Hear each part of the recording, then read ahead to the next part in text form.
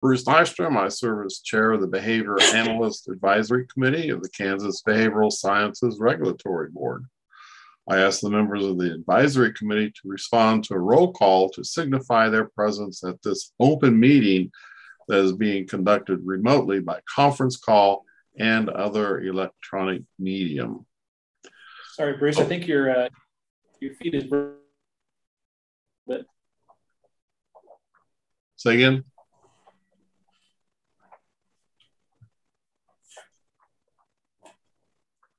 I think they froze. Yeah, they're frozen. I think he was going to say that he couldn't hear you very well, but I think it's their issue. Could you hear me okay? Yeah. Okay. So they're really frozen. Great.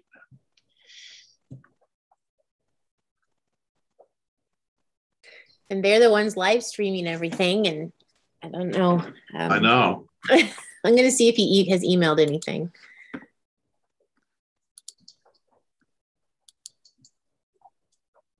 No. No emails. They just logged off, so they're probably going to log back in. Okay. Yeah, we'll, we'll wait for them to come back up. So, my first day as chair of the advisory committee is going great so far. Here they are.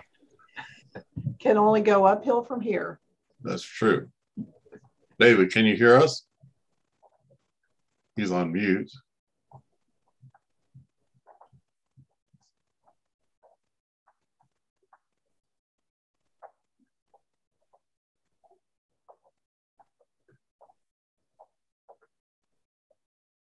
Yeah, he's still not up and going. I saw his head move. Yeah. But their audio was muted. Can you guys hear us?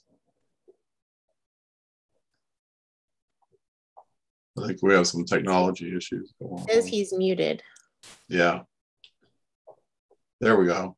Okay. Okay. Can you hear me now? Yeah. We can hear you now. Can you hear us? Okay. Yes, uh, sorry about that. There were some technology issues over here. Um, but uh, Bruce, I believe that our feed cut out a little bit when you were discussing uh, just the beginning part and about to take roll. So could you go ahead and take roll again? Okay, let me just start uh, from the beginning. This is a script that is supposed to be read at the beginning of all meetings. Hello, I am Bruce Nystrom, and I serve as chair of the Behavior Analyst Advisory Committee of the Kansas Behavioral Sciences Regulatory Board. I ask the members of the advisory committee to respond to a roll call to signify their presence at this open meeting that is being conducted remotely by conference call and other electronic medium.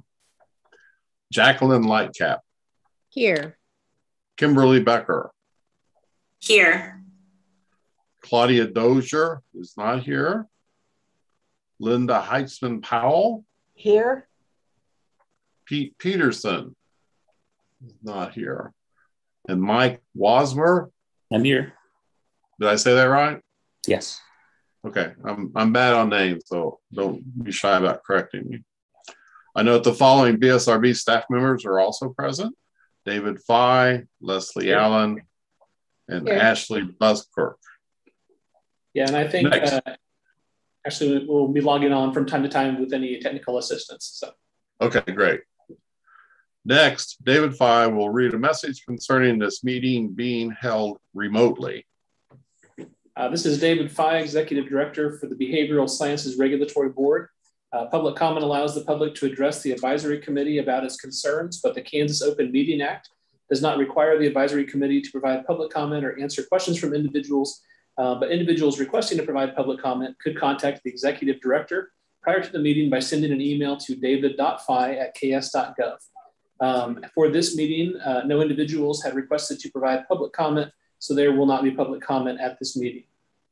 Uh, because we are conducting this meeting uh, publicly and remotely uh, by conference call and other teleconference ability, I state for the record the following information. Uh, public access to the meeting is being conducted by a medium of interactive communication that allows members of the public without cost to attend the meeting through the use of the conference call and on the board's YouTube channel. While the meeting is conducted remotely, Uh, the requirements of KOMA are not suspended, so we'll be conducting this meeting pursuant to KOMA. Uh, on October 12th, 2021, we sent notice of the advisory committee meeting to all individuals who have requested notice of the advisory committee meetings. The notice was also sent and posted on the board's website, ksbsrb.ks.gov. You may obtain a copy of the notice at that website. An agenda and other media material was posted on the board's website today. And you may request a copy of the agenda by sending an email to david.fye at ks.gov with the subject line request for the agenda and it will be sent to you. The notice contains information for the conference call and YouTube channel that allows members of the public to attend the meeting free of charge. The notice also states that if there are any technical issues during the meeting, uh, please go ahead and send an email to bsrb at ks.gov. A recording of the meeting will be available on the BSRB YouTube channel following conclusion of the meeting by using the link to the meeting on the agenda. Thank you. So now the meeting is called to order and the advisory committee will begin the discussion of the first agenda item. So if everyone wants to turn to your agenda, does everyone get a copy of that without trouble? Okay. I don't think I did. Um, if you wouldn't mind would that have come from you, Bruce? I'll, I'll go back to my email. No, it would have come from David. Okay, I'll go yeah. back and look through my email. Sorry. Okay. Yeah, I sent that out yesterday, um, and there's also one posted on the board's website. Um, but we can have somebody send it to you if you don't have a copy of it. So. They'll they'll send you a copy. Luckily, the agenda is not real complicated. It's pretty short. I got it. Thank you. Um, so the first one is to approve the agenda. Does anyone have any uh, questions or concerns about the agenda? Anything you want to add or delete from the agenda? So everyone who wants to approve it, say aye. Aye.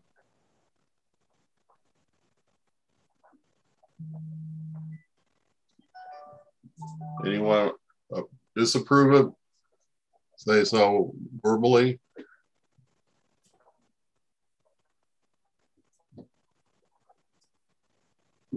This is Linda. I don't want to disapprove it, but I'm just um, trying to figure out where it's at, David. Like I have the emails. Oh, there it is. It's the last, it was listed last. Yeah, I got it. Yeah. I have everything else opened okay, up. You got it now? Last one. I've got it now. Thank okay, you. Okay, great. I'm fine with it. Good. Anyone not fine with it? Seeing no one responding to that, we'll go ahead and approve the agenda. Uh, I do want to make a, a comment that we don't have minutes. And the reason is that the last time this advisory board met was in 2018. And we don't have minutes from that for some reason. That's been a long time ago. So, um, well, and Bruce, I believe, any... yeah, I believe the minutes from the, the last meeting were already approved, uh, but but it has been about three years since the advisory committee met, and so uh, we'll be taking minutes from this meeting and then we'll bring them back at future meetings for you to review and approve. Yeah, we'll be more on schedule after this. So, new business advisory committee membership. Um, we have uh, a small advisory committee now, and we've uh, put out a call for people who would be interested in uh, being considered uh, to join the advisory committee. Did everyone get a hold of those uh, statements? It should be uh, a statement from each candidate and then a resume for each one.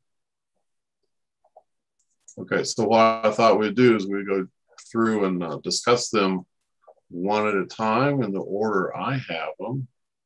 And, and, Bruce, before you go into the candidate discussion, would you like me to go ahead and I provided a, another document in the meeting materials that outlines sort of the review process uh, per the board okay. governance. So you want to go over that? Sure. I think that'd be helpful just to kind of frame the discussion. So, okay. So what he's talking about is everyone have a copy of uh, a one-page document saying advisory committees for the Behavioral Sciences Regulatory Board. Does everyone read through that uh, this is the uh, the guidance that we have from from the board as to the advisory committee. Uh, one thing, and David, you can correct me, it says here that there'll be a, a minimum of three members for the advisory committee. And when we met as a board Monday, uh, uh, a maximum number of 10 was discussed. Yes. So, uh, yeah. yeah. And if you, so, if you want, I, I, can briefly go down this page and just kind of summarize okay, the. Pull out. Yeah, that'd be fine. Go ahead. Great. Uh, well, there's been a, couple changes since the last time the advisory committee met. Um, when, when, last you met, the, the advisory committee was uh, had a little different formation. So I believe there were four board members that served on the advisory committee. Uh, the board had a discussion about that topic and uh, decided to make a change to sync it up with some of the other advisory committees. Um, most of the other advisory committees have a professional member of the board as the chair and then a public member. So the board went ahead at a recent board meeting and voted to do that. So that's why you have uh, two members of the board here versus what you may have seen in the past in terms of more board members. Um, also, uh, in the past, two other members of the advisory committee, uh, Linda Burgeon uh, and also Dan Peterson, uh, we had reached out to anyone who was previously on the advisory committee to see if they wished to continue to serve or if they uh, were no longer able to serve or you know we're not we're not willing wishing to serve any longer. Um, those two individuals indicated that they appreciated their time working on the advisory committee, but they needed to step away. So that's why those two members have decided to kind of roll off the advisory committee. Um, in terms of the sort of the discussion of new advisory committee members, uh, as it was mentioned, you did receive a one-page handout on the advisory committee process and the purpose of advisory committees. Uh, that document sort of outlines what advisory committees are under the BSRB and the purpose that they serve. Uh, so just as a summary, the advisory committee's uh, purpose is supporting the board in carrying out its mission to protect the public. Um, they uh, deal with issues relating to informing, licensing, and disciplining of the persons who are regulated by the board. And um, what the advisory, advisory committees do is they address issues referred to it by the board uh, through the advisory committee chairperson or the executive director. And the members of the advisory committee may also suggest issues or make recommendations to the board uh, through the chair of the advisory committee regarding those different topics. Um, in terms of what Bruce was just commenting on, in terms of how many members should be on the advisory committee, uh, the board governance policy does have some language which talks about board membership. Uh, it previously indicated there should be a minimum of three non-board members on the advisory committee, uh, but it didn't speak to how many uh, in terms of a maximum. Uh, but recently the board met and uh, voted to go ahead and have a maximum of non-board members be 10. Uh, so that's what the current limitation is in terms of board members. Um, the terms of the advisory committees are two-year terms, but members can serve up to four terms. So in general, eight years on the advisory committees is sort of the limitation on the length of service.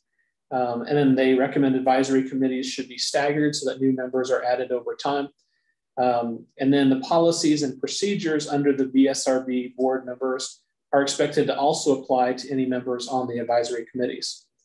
In terms of the selection process, members of the advisory committee uh, can be nominated by anyone and what we did in this case is back on July 20th, we sent a letter to all licensees asking them if they wish to serve on the advisory committee to send a resume and letter of interest to me.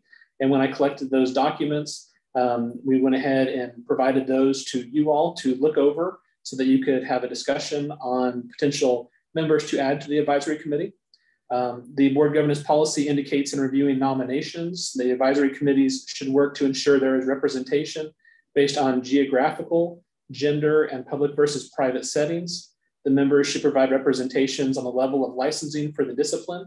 And it suggested that those members be selected from among public and private practitioners. When the board recently met, uh, it discussed if that um, if, if, those elements are sufficient or if more items should be added. Um, and I believe um, ethnicity and, and cultural type diversity was also expressed and it was also clarified by the board that these were items the board specifically wanted to look for representation, but this wasn't meant to be the only things that could be looked for in terms of providing representation. So wanted to point those out to you.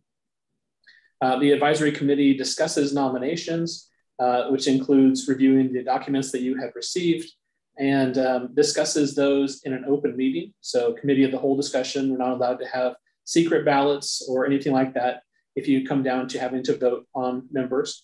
Um, the chairperson of the advisory committee uh, will take the recommended names from the advisory committee and submit those to the chair of the board. It's the chair of the board who has ultimate authority to add people to the advisory committee. And so the chair of the board will receive the list of nominations uh, of anybody who had requested consideration and also the recommendations from the advisory committee. And the chair of the board has the ability to request additional input prior to making the decision on adding people. And then um, ultimately, the chair of the BSRB will add members at an official board meeting. And so that's the process that would take place. And then it says here that the executive director would contact anyone who was added to the advisory committee to, uh, to help with the process. And so just kind of wanted to outline what you had received and then some very recent changes and updates to some of that language. Um, but in terms of my role as executive director, I'm happy to help with the mechanics to enable you to have a discussion and reach recommendation on new members. Um, but in terms of any preference for one licensee or one individual or another, um, I'm going to be a neutral party in this. So I'll help you with facilitating that discussion or um, if you have any questions on any of the guidelines.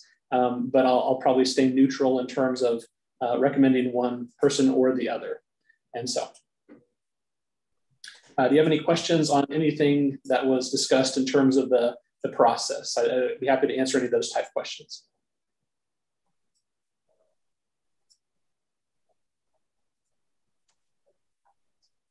Okay, thank you, David. Um, one thing I'd like to throw in is uh, there's some faces here I'm not familiar with. I don't know everyone that's on this call, and uh, some of you probably don't know me. So I thought if we could take a, a short minute here just to quickly introduce ourselves, uh, uh, who we are, where we are, what we do, and why we're especially good people that uh, everyone should know. So I'll start. I'm Bruce Nystrom. I'm a psychologist in Wichita. Uh, been here. Well, I was born and raised in Wichita, so I haven't I haven't escaped yet.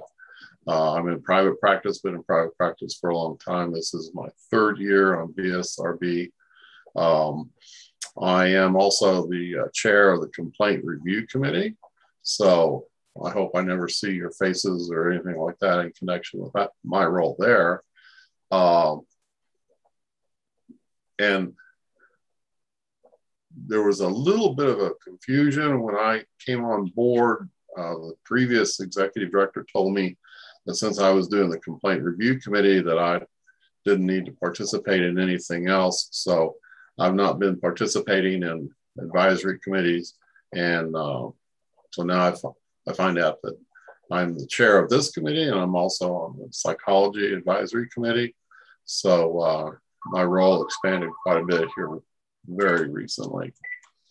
Um, Jacqueline, you want to go next? Yes. So I'm Jacqueline Lightcap and I live in Topeka. I'm a public member of the BSRB and I am on the CRC with Bruce. Um, I'm also on the advisory committee for addiction counselors and this one. And um, I actually have just been on the BSRB a little over a year. So I'm, I'm a newer member. And uh, yeah, I guess that's that's it. Oh, and as far as so, I'm obviously not in the field because I'm a public member. I work uh, for the League of Women Voters of Kansas. That's my day job. Work with advocacy, and um, so that's what I do. And I have two kids in high school here in Topeka. Thank you, Linda. I'm Linda Heitzman Powell, and I'm the Director of Community Research here at the University of Kansas Medical Center. I also started a nonprofit back in 2002 to work with families and children impacted by autism in the state, back before behavior analysis was recognized as a profession.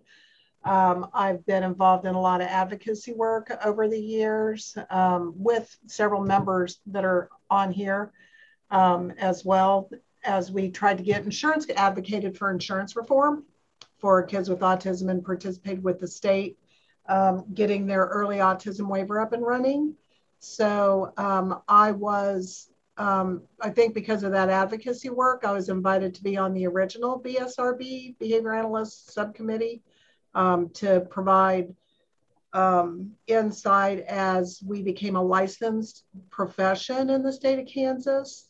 And so I'm happy to be a part of this endeavor as well. Thank you. Thank you. Kimberly. Hi, I'm Kimberly Becker. I am in Wichita, Kansas. I'm a board certified behavior analyst and a licensed behavior analyst in the state of Kansas. I'm also the CEO of Little Stars Therapy Services here in Wichita. We serve children and families impacted by autism. Um, I kind of have a little bit of the same background as Linda. I also started in this field advocating many, many moons ago for applied behavior analysis in the state of Kansas. Um, worked on the waiver committee and then also on this committee when it first started. Thank you.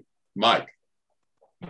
Hello, I'm Mike Wasmer. I am Vice President of Government Affairs and Special Projects for the Council of Autism Service Providers, which is the international nonprofit trade association for autism service provider organizations. Um, prior to taking this position two years ago, I was director of government affairs at Autism Speaks for about a decade and uh, worked on autism insurance reform here in Kansas and around the country. Um, I live in Olathe and I have a, a young adult daughter uh, with autism. Thank you. David, you want to briefly introduce yourself again? Sure. Uh, as I kind of mentioned earlier, my name is David Fye. I'm the Executive Director for the Behavioral Sciences Regulatory Board. Uh, coming up on the end of my first year with the agency, I came on board mid-November last year. Uh, got a chance to work with the previous Executive Director, Max Foster, until he retired on January 8th. Uh, so I've communicated with all of you over email, but it's nice to be able to put a face with a name and look forward to working with you all more in the future. Thank you. Leslie, you want to briefly introduce yourself? I'm Leslie Allen. I'm the Assistant Director and Licensing Manager for the BSRB. Um, I have been with the agency since 1999 and I worked with all of you um, when we were doing the regulations for behavior analysts. Thank you. So these two people have a wealth of information, history of the uh, organization and all sorts of details that I'm missing, and I turn to them to help fill in my gaps. So thank you very much. There's also Ashley Van Buskirk, who is on the staff. She's not on this call per se, but she'll be the one who will uh, review the YouTube uh, presentation, uh, make minutes of the meeting from that, and we'll have those minutes to review at our next meeting. So now everyone want to uh, go through these applicants? Before we start, I think yeah. um, I did a little, um, and um, and Mike may have found something on Pete on Facebook, but um, I reached out to a contact of mine, and he's still showing as active at Johnson County Community College as faculty there. So I don't know if somebody wants to see if they can reach him through that faculty appointment.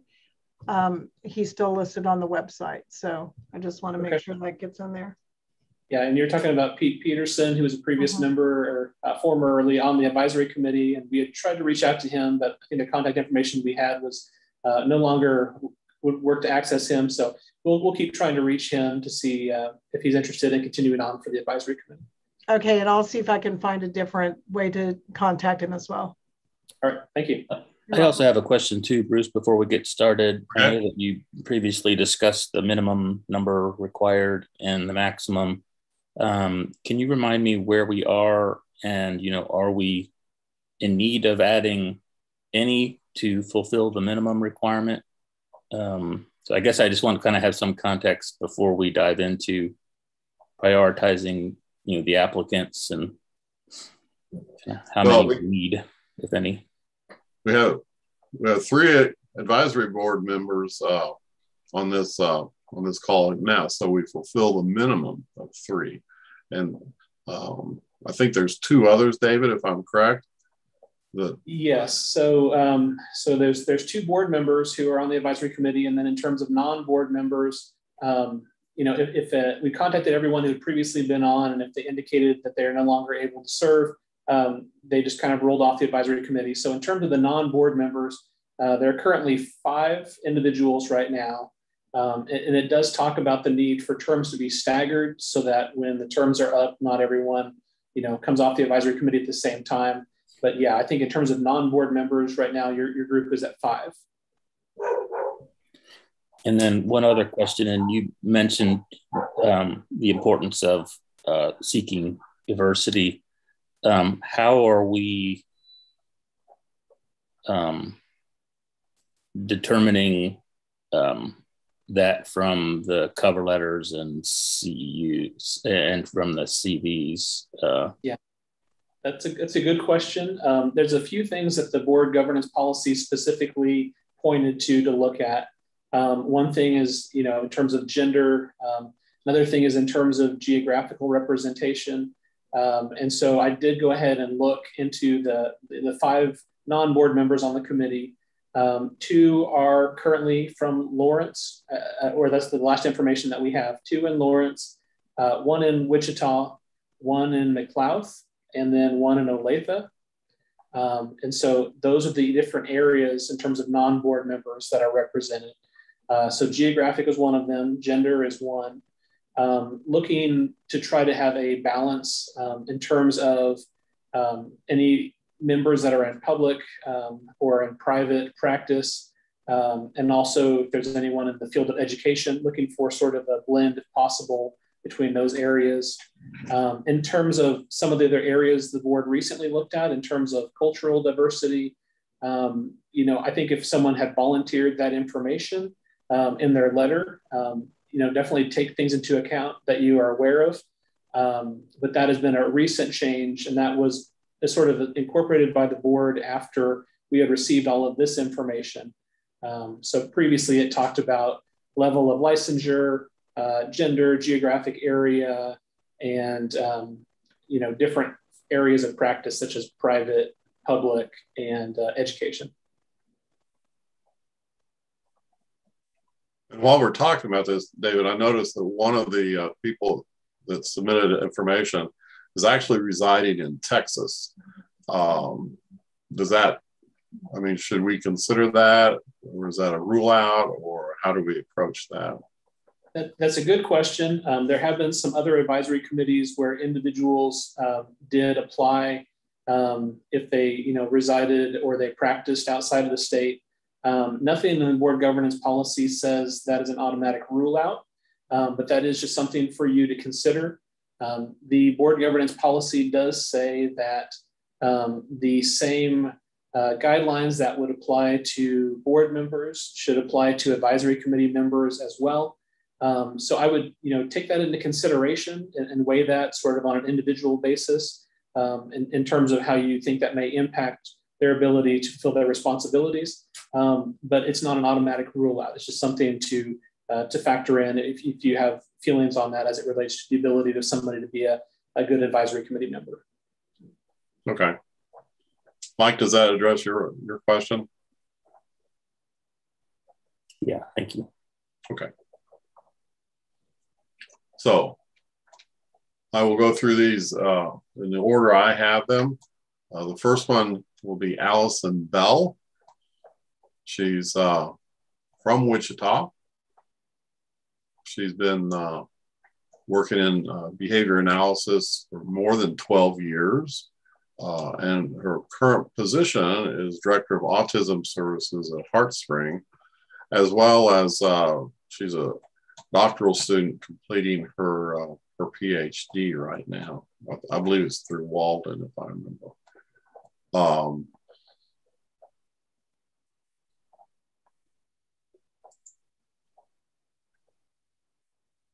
no, I'm sorry. She's uh, working on her PhD through Capella. She got uh, a master's degree through uh, Kaplan University and bachelor's at KU. So, uh, first of all, does anyone know her personally, her reputation, or I know her and I've known her since before she was ever in school while she was still working on her bachelor's. She worked with me at that private um, nonprofit that I was telling you about. And um, it was because of that experience that she decided to go to school to become a BCBA. So she's been a, an advocate for behavior analytics services from um, for a long time, from the beginning. I think she has a personally, I think she has a high degree of integrity with regards to my previous experience with her. Yeah, I've I've worked with Allison on several occasions over the past uh, couple years. Um, her organization is a member of CASP and um, worked with her on several projects, and I would concur with Linda's assessment. Yeah, obviously, I also know Allison. Um, Allison worked under me at Heartspring. I was the director of autism services and pediatric services at Heartspring, and she started there as a board certified assistant behavior analyst. So, you guys know her, know her very well. Um, am I hearing a uh, a groundswell of support that she would be a good addition to the advisory committee uh, or not? I think she would be a good addition to the advisory committee.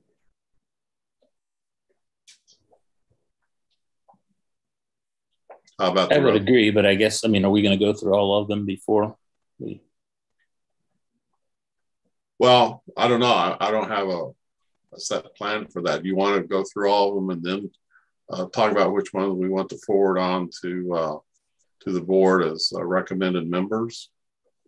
Yeah, and Bruce, maybe I can help out in this in this a little bit. So the board governance policy doesn't really set a, a specific process that each of the advisory committees have to follow in reviewing applicants or make recommendations. Um, I can tell you the other a lot of other advisory committees are following you know this same process in terms of reviewing candidates. Um, on average, the advisory committees are adding uh, about three members, most of them, based on you know openings and if anybody's coming off the committee because they've reached their maximum terms of service. Um, so that's kind of been what they have been looking for. Um, the most popular method I have seen from the other advisory committees is that um, some of the committees just opened it up and, and some went candidate by candidate.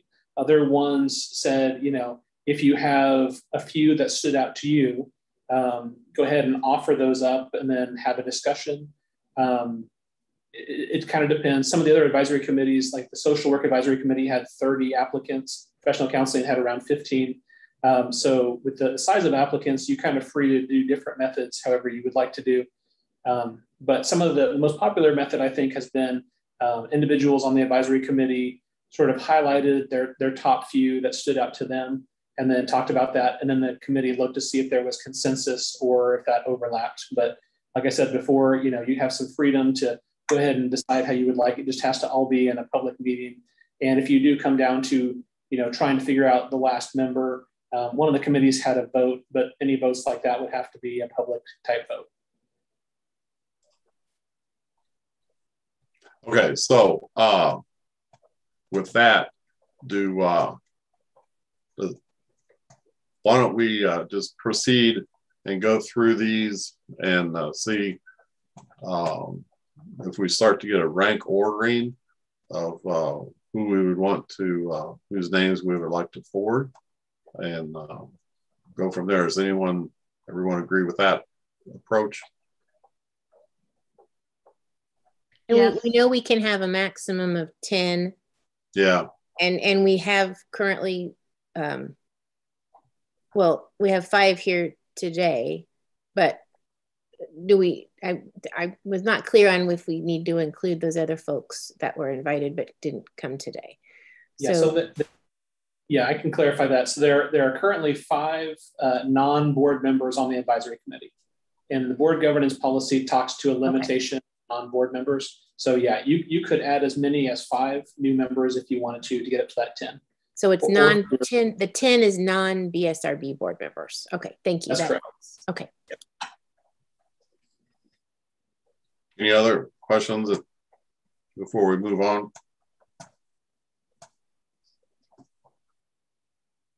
Okay, the next uh, person is uh, Bethany Garcia. Uh, she says she's been working in behavioral analysis since 2006, been a board certified BA since 2016, and currently uh, works at Positive Behavior Supports Corporation. Does uh, does anyone know her? Is she known to the to the rest of you? She's from Kansas City. I do know her. Um, she actually started as a behavior tech technologist or a technician um, in probably 2006 at Heart Springs. So she was one of my first techs that we hired when we started doing autism services um, under the autism waiver.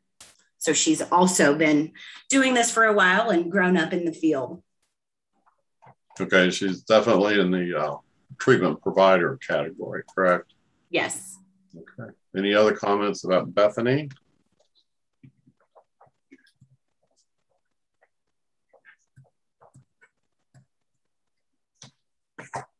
Okay, next on the list is uh,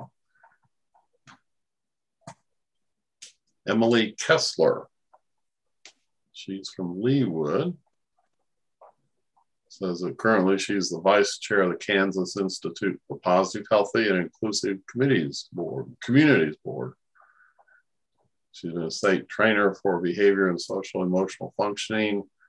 And um,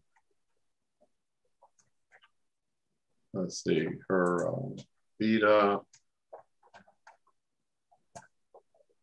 She has a bachelor's from uh, Washburn, a master in special ed from KU, a master in educational administration from Emporia, and a postgraduate certificate in behavior analysis from Arizona State. Is Emily known to the rest of you? Um, she's known peripheral peripherally to me. Um, she worked with some of my distance-based teams. Um, and it looks to me like um, on her Vita that she um, has a lot of experience in the schools. Yes, she does. So just to throw that out there, that if you're looking at diversity, um, she seems to have. She came to us through the school system, worked for her supervision hours while she was employed at the school. So, anyone else have contact with her?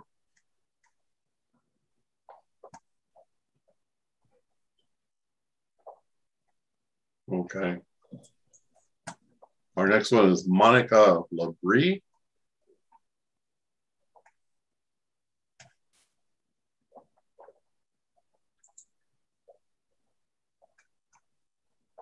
She has a doctorate from Walden University in educational psych, a master's in applied behavior analysis analysis from Houston, University of Houston, and a bachelor's from the University of Houston.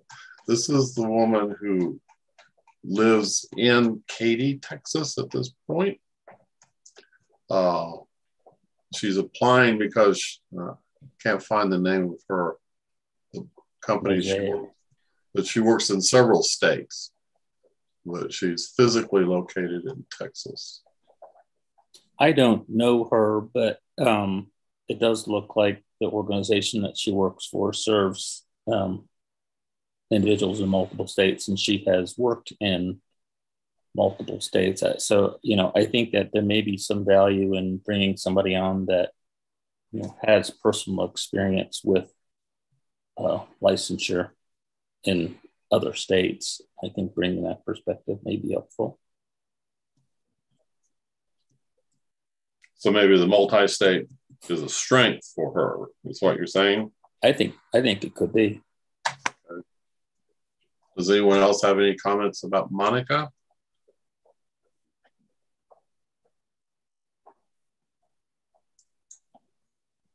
Okay, the next one is Danielle Parrott, Perot. I'm not sure how she pronounces that. She's from uh, Wichita.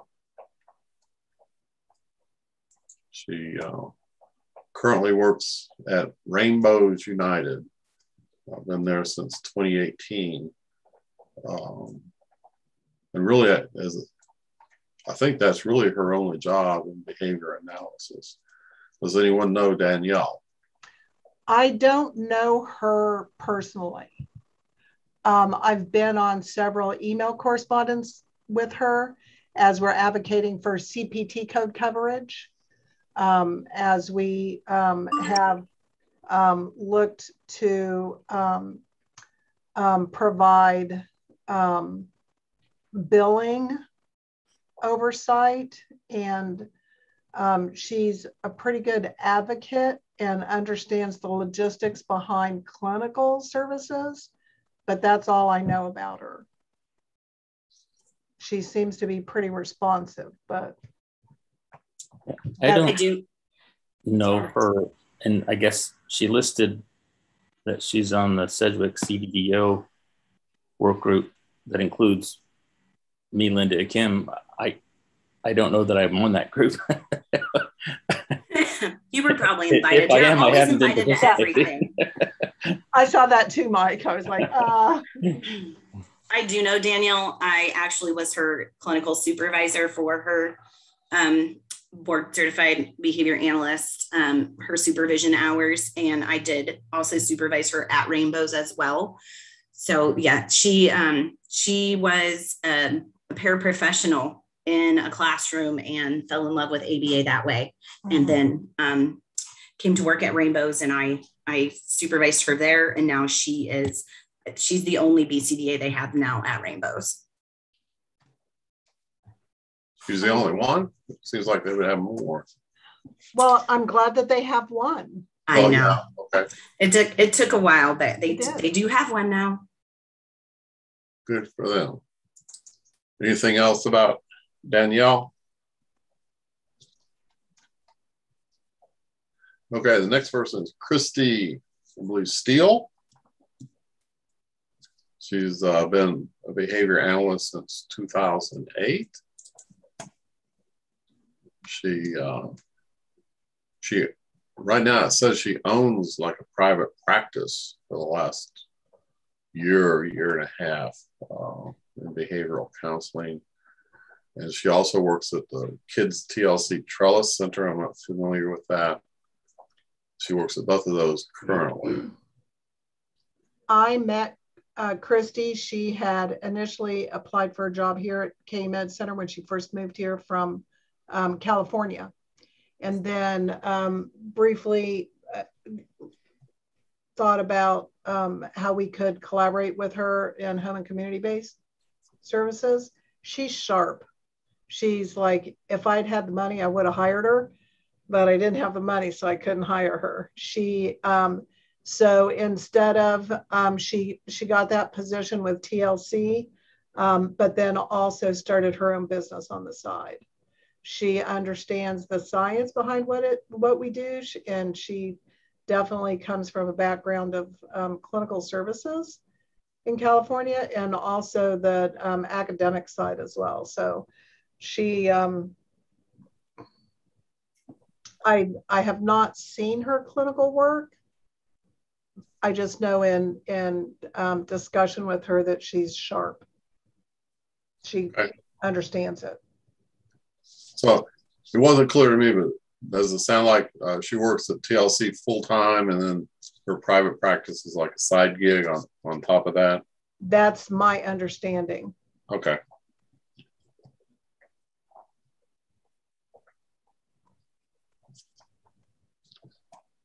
She's in Lawrence. Anyone else know Christy, Christine? She's a newbie. A newbie? A newbie in Kansas. yeah. She she has experience in other states as well. Uh-huh, she does. In California. Yeah, she's been around. Mm-hmm. Any other comments?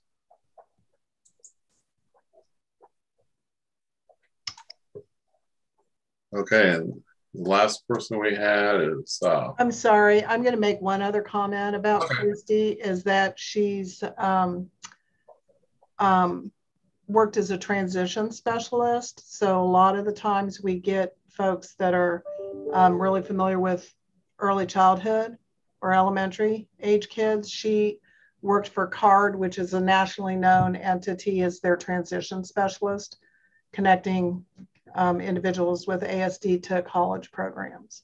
So she does have experience in with the older population as well. Okay. Moving on, we have Alice Zhang. Zhang. Zhang, sorry. I told you I'm not good on names. She's uh, a licensed behavior analyst, uh, board certified, works at KU Center in Kansas City as a clinician and researcher.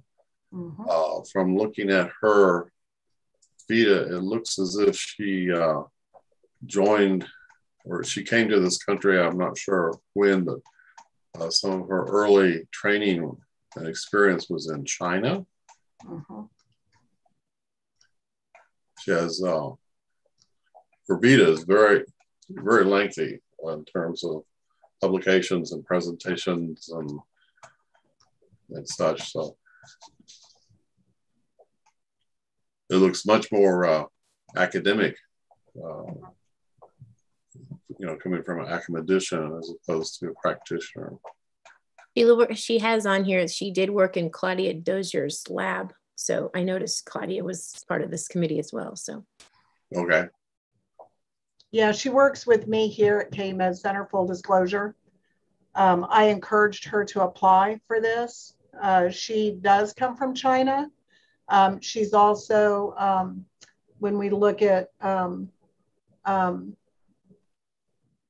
look at diversity, she um, has she's very proficient in advocating for people with physical disabilities as well. Um, a lot of her work with Glen White on her Vita um, comes from Glen was a um, will, was wheelchair bound and so she did a lot of work with physical disabilities and spinal cord injury.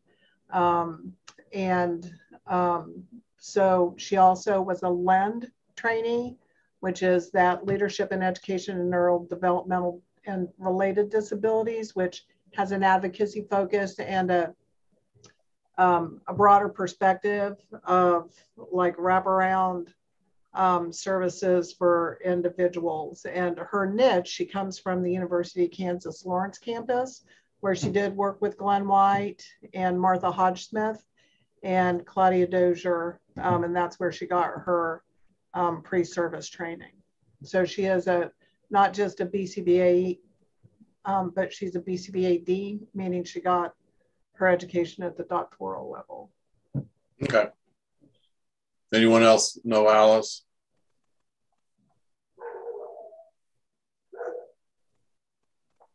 Okay, so we have, sounds like we have seven well-qualified candidates. Mm-hmm. Uh, as far as diversity goes, um, they're all female. So I know. Don't, don't have any guys. And they're very much on the eastern side of the state, except for a couple in Wichita. Yep. Yeah, nothing west of Wichita. So again, Western Kansas kind of gets the short end of the stick. Maybe ha- having before. said that, I think that um, Emily, does she have um, where like previous? I think she might have been from the Manhattan, and like she worked in Gardner. Um, Mm. which you know is southern Kansas City, but I think she, um, um, you know, she worked on that multi-system tier support statewide. So I think she's had some experience in rural areas. I'd like to advocate for that. Yeah, she does list that. So I have to leave in about a minute or two. I have to pick my kids up from school, and Wednesday's an early release day. I'm sorry, um, but I don't know if you want me to. I mean, I'm I'm okay with these. All sound great. I would be fine with whoever you all choose. So, um, you know, is that good enough? Do you still have to? No, we want you to stay here for another 20 minutes and discuss. and let my kids wait out in the rain. No. Yes. Is it raining? So I actually I did make a little rank. I really liked Alice and Christy, Emily and Allison. So those are my top four. But honestly, the others were, were really good too. Though I just I heard some really good things about their variety and diversity that I liked. So And sorry, could you say their names again? Uh, sure, Alice, Alice and Christy, and Emily and Allison were the four I would put in my top rank. But I, the others also looked had, they had good resumes as well. Thank you. I know that we had discussed that there's a max of 10, but is there any feeling among the folks on the call whether we want to max out? We don't have to. Yeah, I mean, I guess I'm just questioning. I mean, sometimes a bigger group gets a little more difficult to accomplish things. So I, I guess I'm sort of inclined to not necessarily max out unless we had like 10 stellar folks that we wanted on. Yeah, and that's why we put a limit of 10 on, you know, because like David mentioned, social work had 30 applicants for their advisory committee. That certainly, you know, might be a unworkably large group of people. But no, we don't have to max out. Um, there's five now, and we could add anywhere from one to five more. So we have a lot of options.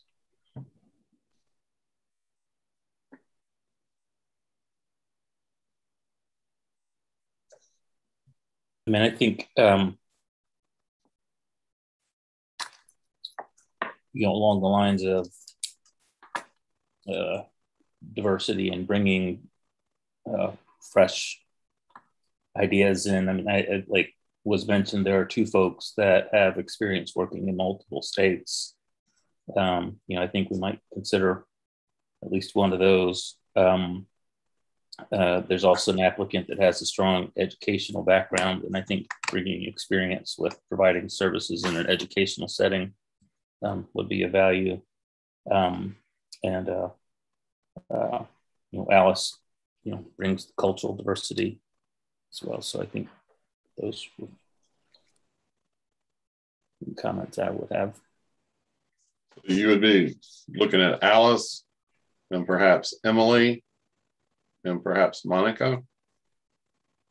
Um, Or Christy.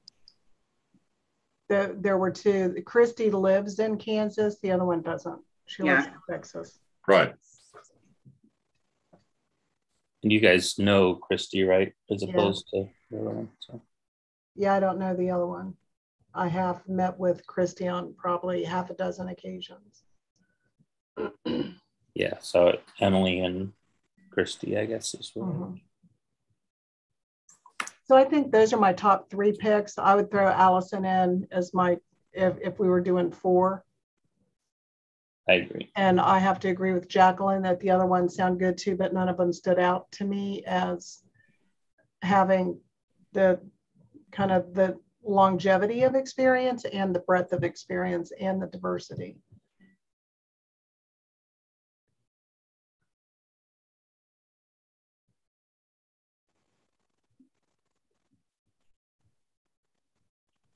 Okay, I'm not looking at the Zoom screen right now, but um, Kimberly, have we heard from you on this issue? I agree. I, I think those top three, um, I agree with with those that Mike and Linda also. Okay, so who, just to make sure, who's on the top three? Alice, Christy, and Alice, Emily was Yeah, that Emily Emily. Emily. Yeah. yeah, Emily. I think we all Allison was kind of a fourth for a lot of it. Yeah, but the top three were those. Hang on, my pen just died. So Christy, and who else? Emily Kessler, Emily, Alice Zhang, Z H A N G. yeah, And then the fourth pick would be Allison Bell. And then the rest of them are um, well qualified, but they don't stand out as much. okay. Well, you guys know these people a lot better than I do. Uh, you know, from it's a small field. Yeah, just looking at the paperwork, I mean, none of them are are weak or you know, right by, by any means. Um, okay, David, let me ask you a question. If we're going to stagger membership onto the advisory committee, how does that work? I mean, we've got five on now. If we add up to four more, uh, how would that be uh, staggered? Well, so um, what a lot of the other advisory committees are doing is they are adding members now, and then we're trying to formalize this process a little bit more so that each year, if members are coming off of advisory committees, they have the opportunity to add more members then, maybe sometime around you know April or May. Um, so, in the interest of staggering, it may be helpful to add a few now and then maybe revisit that um, next year in terms of adding anyone or if anyone drops off. Um, so that's that's something that a lot of the advisory committees are doing instead of maxing out at the moment. They're trying to add a few now in the interest of adding a few in the future so that um, you know you'll have a situation where members can drop off in future years, but you won't lose a majority of the advisory committee at any one time. So the members that are already on the advisory committee, um, are we going to put a you know date uh, for the end of their two-year term or what? Yeah, that's one thing we need to do a little research on um, to find the, the years that some of those terms started.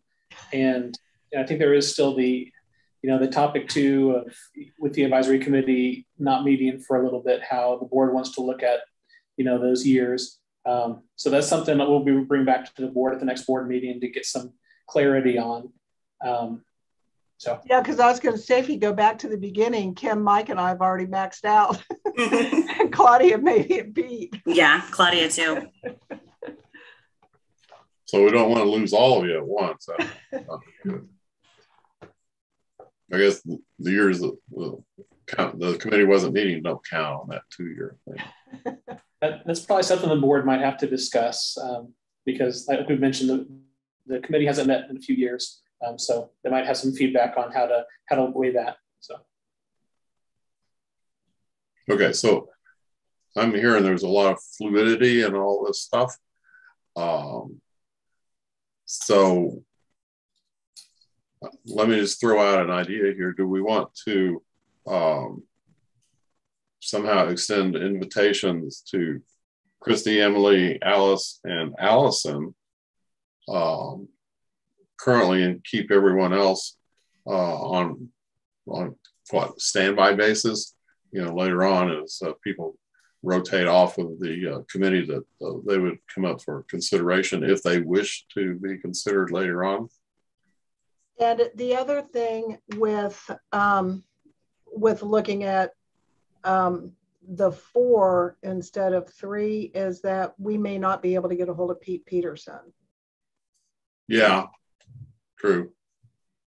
And so we may be down one anyway. And then if we had, that would leave us at eight, I believe. And then that way, when um, we go to schedule these meetings, um, invariably, like Claudia couldn't be here today, right? And so that would leave somewhere between four and seven people that would be available that were non board members. So just trying to look at the logistics of how it actually played out. And before I think, Mike, correct me if I'm wrong, Kim, you um, were you at all of the previous meetings, Kim? Or did you? I think so. I might have missed one or two. Yeah. And so I think because we're all busy professionals, we have, you know, logistically, we're going to have one to three people that aren't going to be able to make the meetings. And so we need to have enough committee members that we feel like we have enough meat available to discuss any issues that come up. So that's my two cents on it.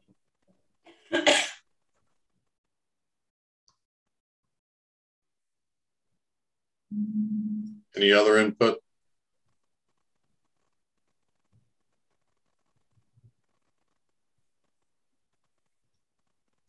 So, David, how would this work if we uh, forward these four names to you? Would they be considered to, to be joining the committee currently, immediately, or uh, do two? So, yeah, that's a good question. Uh, the board governance policy indicates that the chair of the board has the ability to add members to an advisory committee. Uh, so it's the role of the advisory committee to make a recommendation.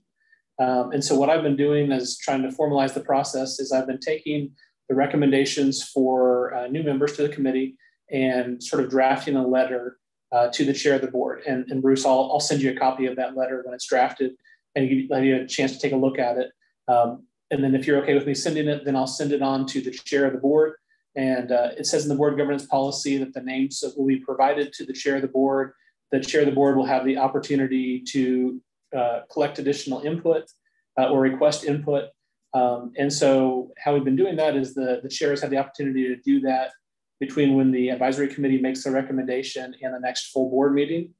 And if there's no issues, then uh, the chair has been asking me to list those appointees on the board's agenda.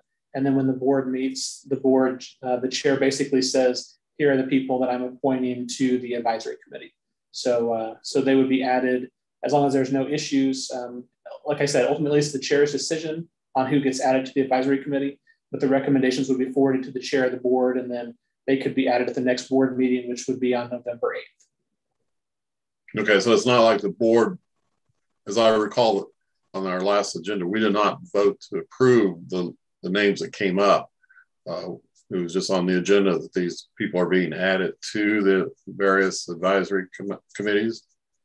Right, because the, the board governance policy says it's the authority of the chair of the board to appoint people to the advisory committees. Okay. Uh, so as long as the chair of the board approves, we are just making, when that has occurred, it occurs at a board meeting. So they get listed on the board's agenda, but it's ultimately the board's decision or the, the chair of the board's decision rather than a board vote. Okay. So does everyone follow that? Clear as mud? but but the main the main takeaway is that if you make recommendations to add uh, those four members today, what I'll do is I will draft that in a letter, and then Bruce, I'll send it to you to take a look at. And then if you agree that it can be sent on to the chair of the board, I'll send that letter to the chair of the board, and then the chair of the board will have the opportunity to review it, and then she can request additional input. Um, but if she agrees with the recommendations, she would appoint those members at the next full board meeting on November 8th. Okay. Sounds good to me. And for you guys who are not on the board, the current uh, board chair is Leslie Seawester. She's uh, actually a public member, but also a licensee in uh, addiction counseling that she's the current uh, board chair. And, so, and Bruce, just to make make absolutely clear, the the four people it sounds like that are recommended would be uh, Allison Bell, uh, Emily Kessler, Christy Steele, and Alice Zhang. Is that correct? That's what I have. Okay. Everyone else have those same four names? Yes. All right. Thank you. Everyone happy with that? Okay, I'll play auctioneer. Going once, going twice, going three times, bang, it's done. So. Sorry about my phone ringing in the background. I don't know how to stop it. But I just heard back from one of my contacts and they said Pete Peterson is now the chair of the department at Johnson County Community College. And it should be i don't know what email address it i can't drop it in the chat because there's no chat function available yeah. here. Linda if you don't mind just go ahead and send that to me in an email. I'd be happy to reach out to him. Okay perfect. Okay yeah. Thanks thanks for getting that info. Okay congratulations thank you for all that uh, it brings up our next issue on the agenda uh, which is uh, is called next meeting uh, David and I discussed this. Uh, the next meeting, if we meet, um, how often do you guys want to meet? Once every 10 years? or you want to meet more often than that? Um, we discussed perhaps since uh, the committee has really not been functional for some time, and we're adding uh, a lot of people.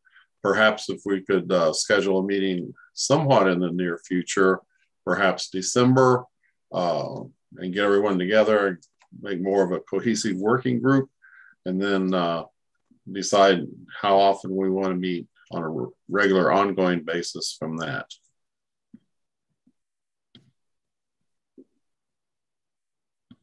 Any feedback on that idea? Yeah, I think it makes sense. That's fine. Yep. Okay. Uh, so. And what, Bruce, what, go ahead. What, I, what I've been doing to assist with some of the scheduling is uh, uh, I can send out a doodle poll with yep. some possible date options in December. Um, and so. Yeah, that'd be great. So I'll be looking for an email from uh, David about a doodle poll. Um, and we'll see. I mean, there's never a time when we'll probably get everyone together, uh, get as many as possible together at once. So now, the other issue that, uh, other than you know, just kind of a hi, how you doing uh, at the next meeting, um, you know, if you read the uh, the thing that David gave as far as the uh, the structure of the advisory committee, technically, I'm not supposed to be on the advisory committee because I'm not a behavior analyst. Um, but there's not a behavior analyst on BSRB. Um, brings up the issue should there be a behavior analyst on BSRB? And then they would, their function then would become, uh, as well as a board member, become uh, the chair of this advisory committee that would expand the BSRB. And David can tell us, but that's going to take some uh, legislative activity and some other issues like that. But I wanted to throw out initially to see what kind of response you guys have to that idea. Yeah, if you guys have to remind me, but I think this did come up very early on, and I think the reason it was um, not pursued is because it would require additional legislation. Um, you know, if it were possible, I think it would be ideal to have a behavior analyst on the the SRB. I concur, Mike. That's exactly what happened. Was we were advocating for a member to be on um, the BSRB itself, and it would require legislative proceedings in order to be able to increase the membership of the BSRB. But I, I also agree that I think there should be a behavior analyst. Kimberly, how do you feel? I completely agree. Okay. So uh, we will uh, have that as a major part of our agenda for the next meeting. Um, and uh, David, he didn't say about his background, but he comes to BSRB after serving for some time on the state. Let me get this right. Revision committee, is that right? Well, so prior to coming over to the BSRB, I worked for eight years with the Legislative Research Department uh, primarily as a principal fiscal analyst. And I was uh, that agency's one of, one of the, the health experts for their office, and uh, specifically in the area of mental health, which is how I became familiar with a lot of the mental health workings in the state with KDADS and the state hospitals and the BSRB. Um, and last year, I was the lead coordinator from that office on the Special Committee on Mental Health Modernization Reform, uh, which met several times last fall and is meeting again. They got renewed for more meeting dates this year. Uh, so played a very active role with that prior to coming over to the BSRB.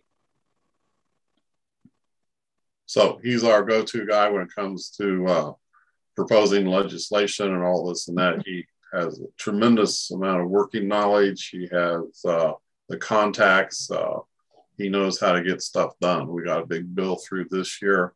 Uh, so yeah, we can talk about that uh, you know, opening up the statutes and, you know, changing it to include a new member may not be as daunting of a task as it may have been in the past. So, anyway, we'll discuss that. Keep that in the back of your mind. David, do you know, um, aside from the fiscal impact of, you know, and I don't know if this would be a part time or full time position, if there were to uh, be the possibility to add a behavior analyst to the BSRB. Do you know, and feel free not to be frank, I mean, uh, where would the opposition come from? Do you think there would be opposition within BSRB? Um, I'm not sure. Um, you know, I a lot of the uh, history of behavior analysts kind of before my time uh, working with the BSRB. Um, I, in terms of the in terms of the fiscal impact, uh, you know, the board members are not really paid a salary. Um, they're compensated for days that you know they hold meetings, either board meetings or advisory committee meetings. Thirty-two um, bucks a month. Thirty-two bucks a month. I don't know. Any any fiscal note will uh, might sink us. You know how. there is some there is some reimbursement when we have more in-person meetings for things like mileage and, and things like that. Uh, so there is some cost to it, um, but I don't, don't, know that I could speak to the other, um, you know, maybe the history or the, the reasons for or against it, because um, a lot of that's before my time.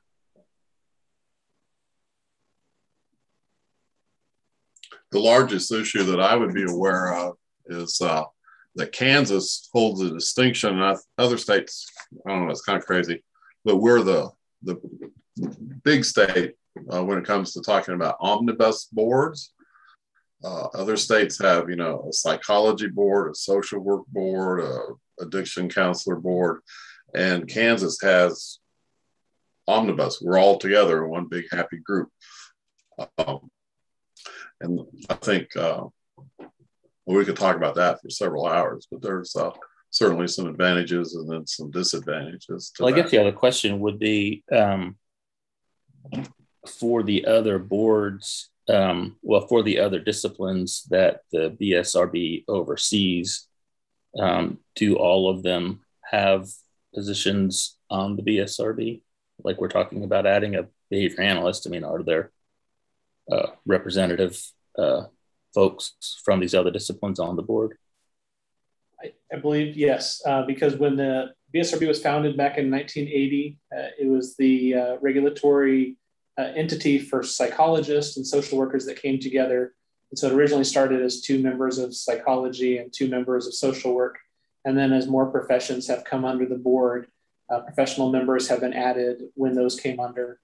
Um, and uh, so there are currently 12 members of the board, uh, eight professional members, four public members. So the other professions are represented by a board member. Um, so. That's how I remember it, Mike, from our discussion about it before, um, which was part of what we were advocating for if we were going to be governed by the BSRB, that we should have a voice at the table like the other disciplines that were also represented. That's my memory. the cynical view from APA on all that is that if you're not at the table, you're on the menu.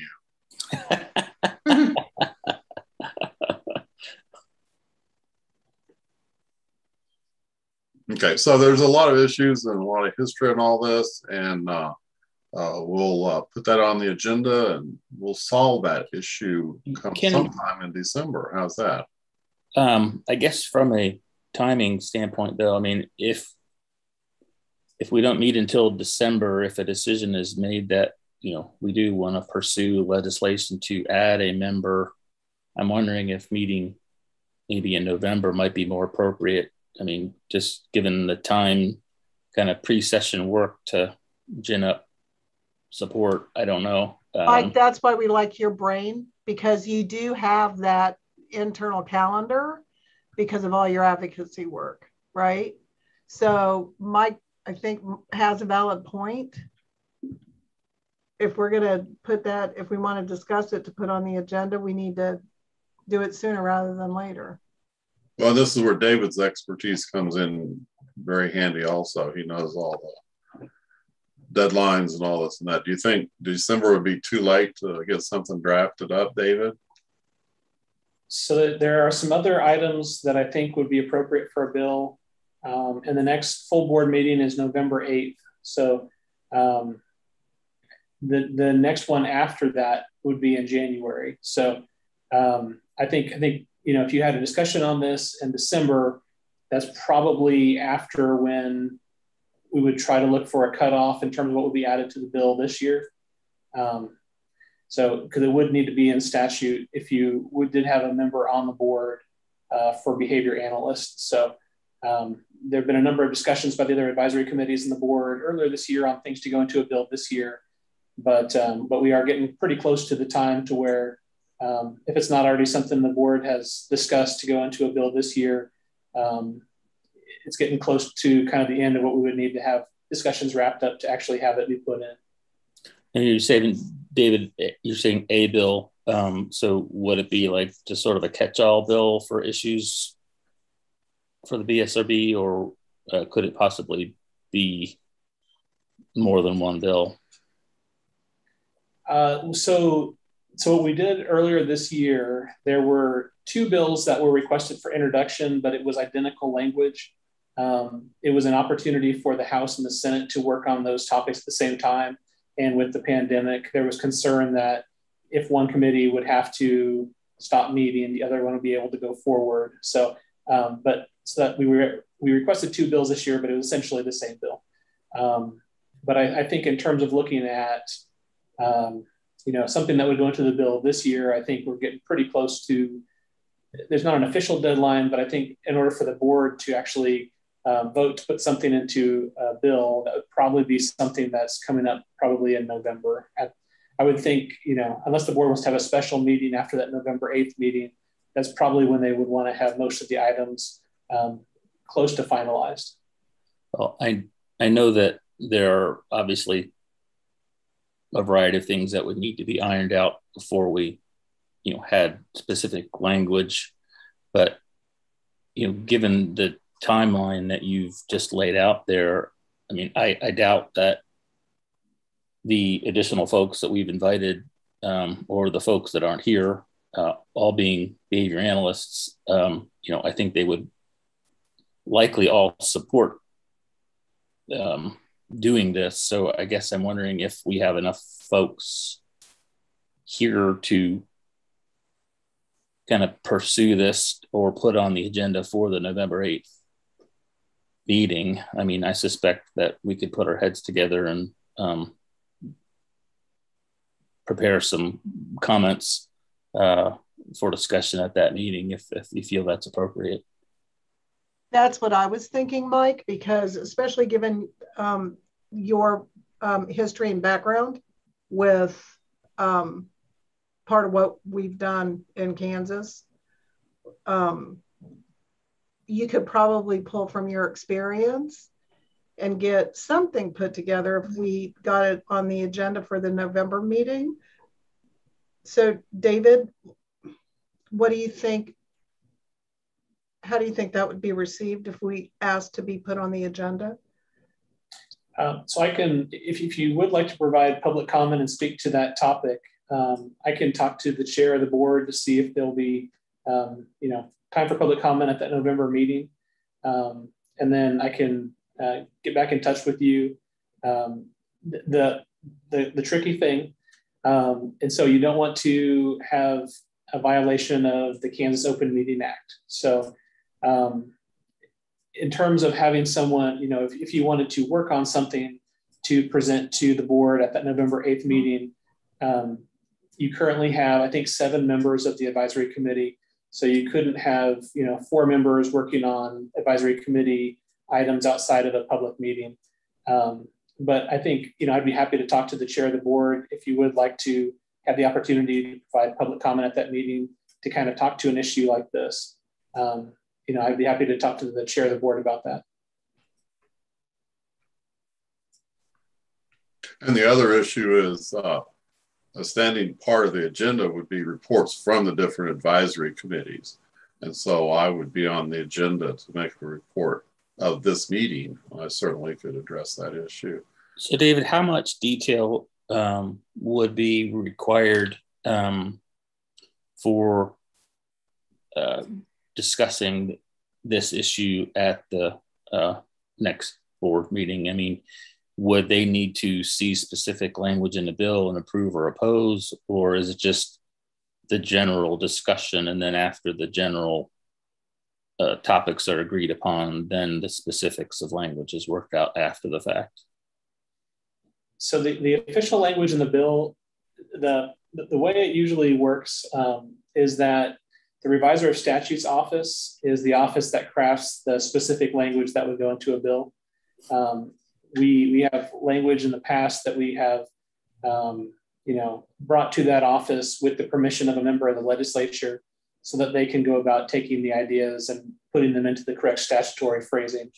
Um, so I, I think if, if, this was limited to the topic of requesting to have a member of the board representing behavior analysts, um, you know, I think that idea could probably be brought to the board without okay. the specific phrasing if, if it's Great. limited to that. But, yeah. Um, Great. And I, I can look at the statutes to see if it's more complicated, but I think for most of them, that there's not a lot of detail in that section of the statutes. So. Yeah. And so this wouldn't be opening up our licensure bill. This would just be opening up something related to composition of the BSRB, right?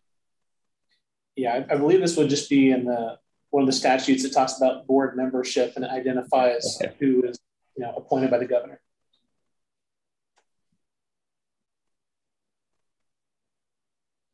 So this is Linda. and I, I want to ask what may be a silly question, but you said that we can't work on stuff outside of this meeting. If we can't do that, how are we going to get any work done? Yeah, so it's, it's tricky. So there, there are rules that say that you can't have a majority of the advisory committee working on advisory committee business outside of an open meeting together. Together.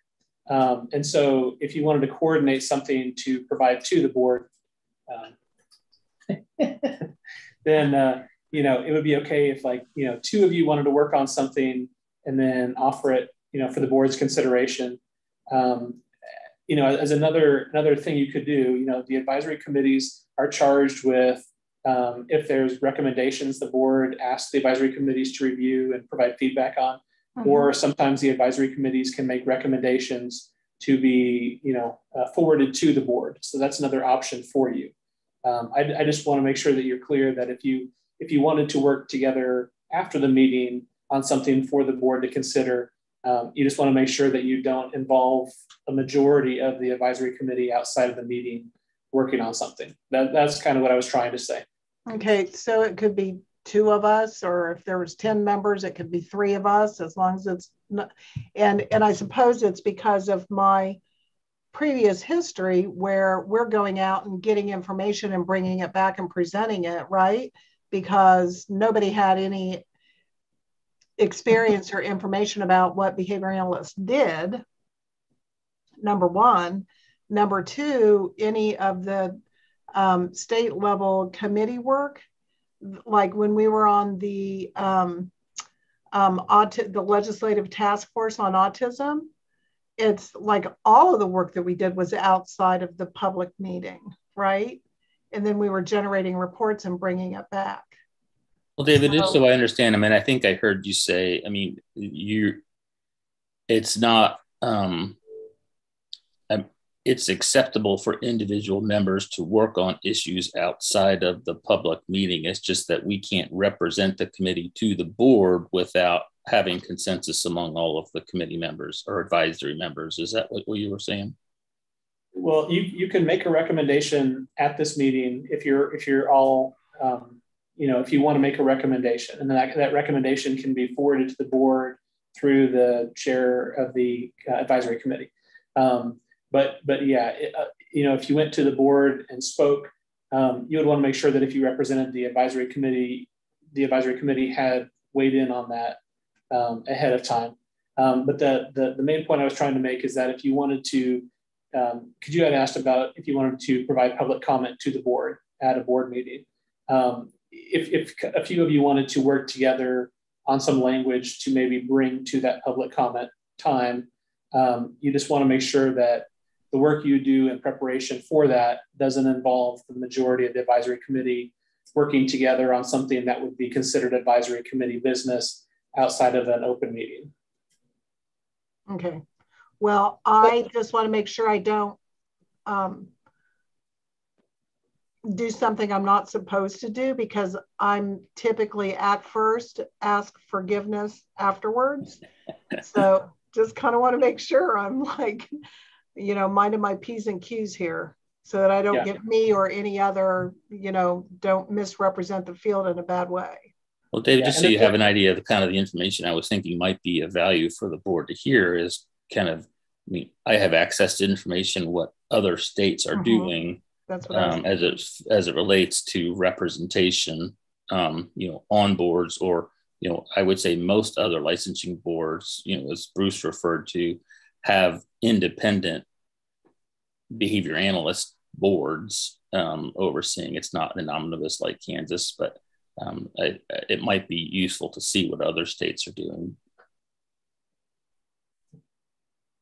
Amongst the uh, BSRB board members, if you ever have any questions about open meetings, because it is pretty subtle and uh, strange to me, because I like to pick up the phone and talk to people about stuff. Uh, call David; he'll uh, he'll set you straight.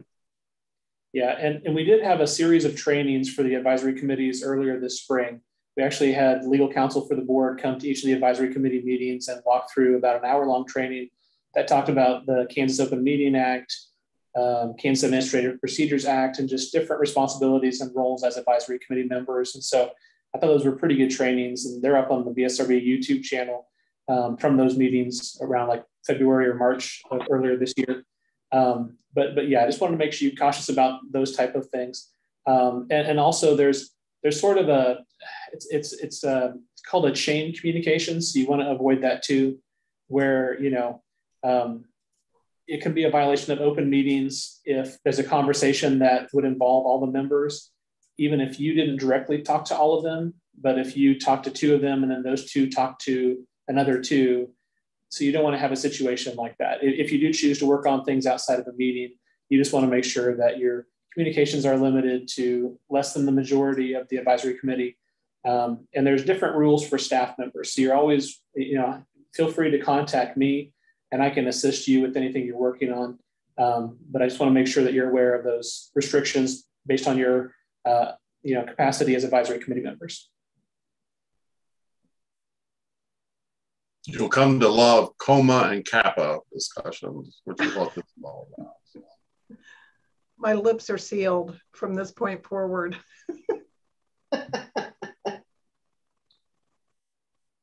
okay, anything else? So I, I, guess, David, just to, to be clear, so um, you will follow up with this prior to the November 7th meeting then on whether or not this is going to be an item on the agenda. Yeah, I'll so so my understanding, right, that you, you want the opportunity to provide public comment at the meeting on this topic. Is that well? I, I guess um, I, I would defer to you as to the best approach, but I mean, I think that what we would like to do is in, include this issue as part of your omnibus bill. Um, uh,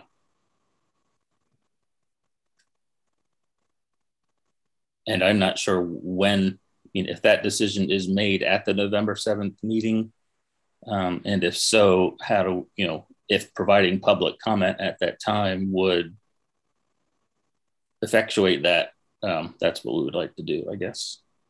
Okay.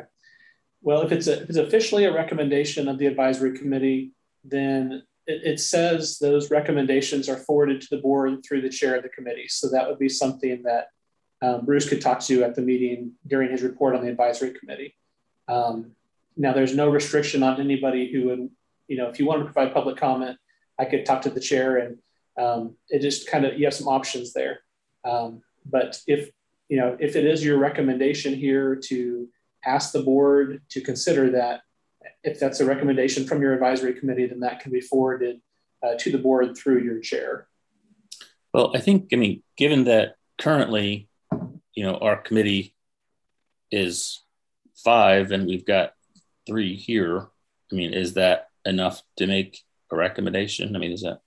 because Yeah, so we're talking about adding folks. So currently we don't have those additional folks. Uh, so, so let's see. You have. So there are seven members. Uh, so you need four for the majority. Um, and so, uh, so you do currently have a majority of the members of the advisory committee. Uh, so you can make a recommendation now if, if you would come feel comfortable doing that. So. I do. Sure. I do. So what would that be To precisely? to add a behavior analyst to the behavior analyst to the uh, BSRB, Okay. a, a, a licensed behavior analyst. To the, Kim, do you agree? Yes, I do.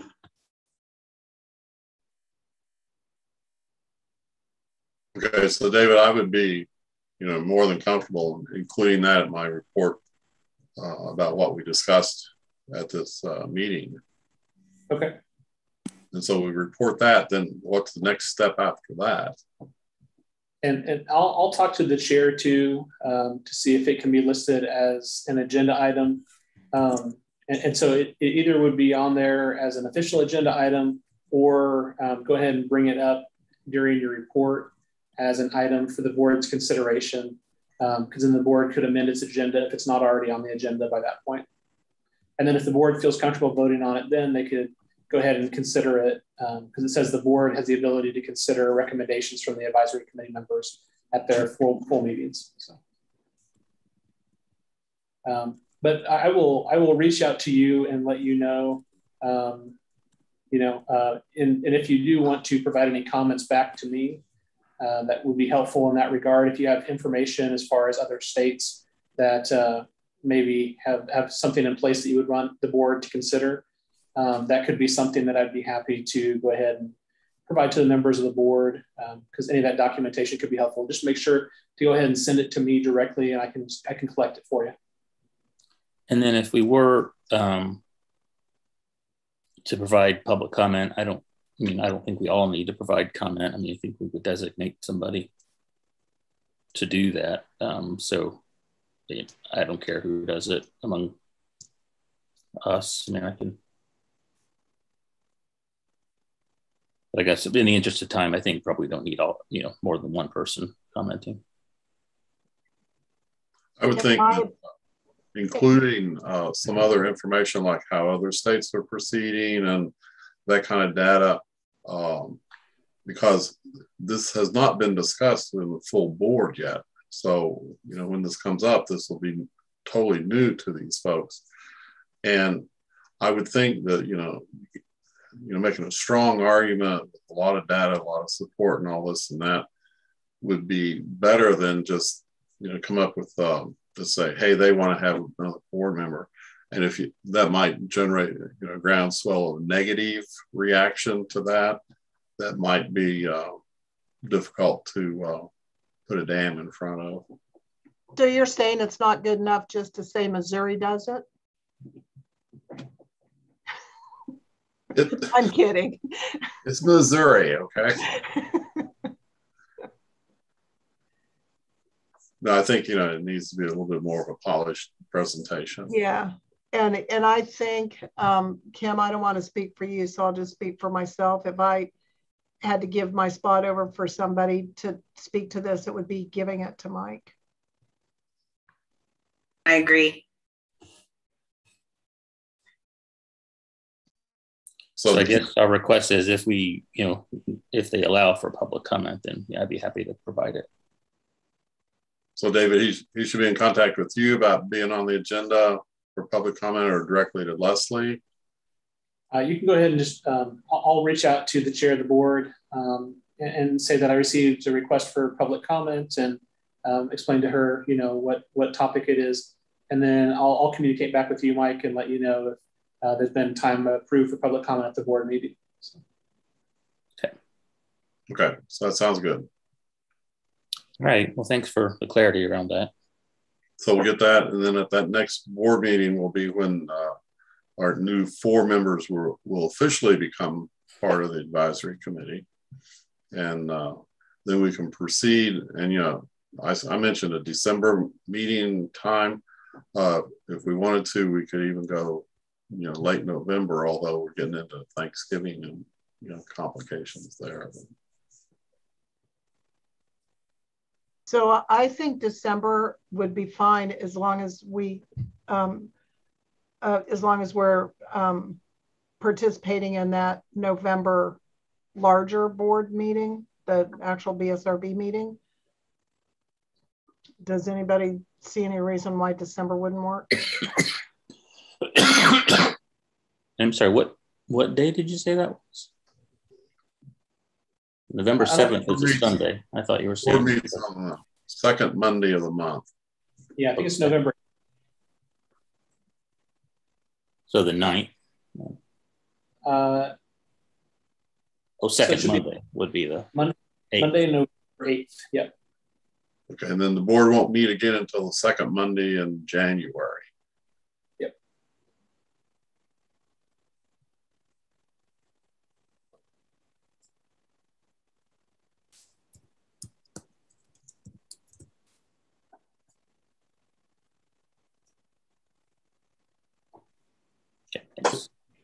So we're at the, uh, let's see, we're, we're the 27th of October now. We've got, what, a week and a half until the next board meeting, so.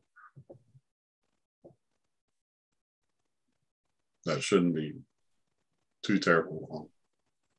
So since December is um, a big holiday month as well, are we thinking that the next advisory board meeting would be sometime in that second full week of December, like the 13th through the 17th?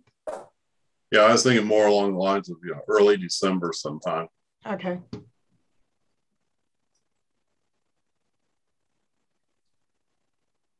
Okay. Yeah, and I'll, I'll send out some options to you in terms of times and dates. Um, I'll avoid some other meetings we already have on the schedule. Um, and then just go ahead and fill that out and just let me know and I'll take the dates that have the most members availability. Sounds good. Okay, do we have a plan? Yep. Sounds Okay. like we have a plan. Good. Um, well, I want to thank you all for participating in this meeting. Uh, let's let's not wait three, four, five years until the next one. So, All right. And, So- and yeah, Bruce, if you could ask for a motion to adjourn whenever you're ready, and then we'll uh, just get a second on that, and that just to have it for the record. So okay, can I do my usual? Yay! Can I have a motion to adjourn? I make a motion to adjourn. Yay! All those in favor say aye. Aye. Aye. Opposed, we don't care about you, Phil. So I'm sorry. So thanks for uh, your time today. I, I think we've accomplished a lot. It's been a productive working meeting, and we will uh, be communicating here shortly about the next steps. Okay. Sounds good. Thanks, everyone. Thanks. Thank you. Bye. Bye-bye.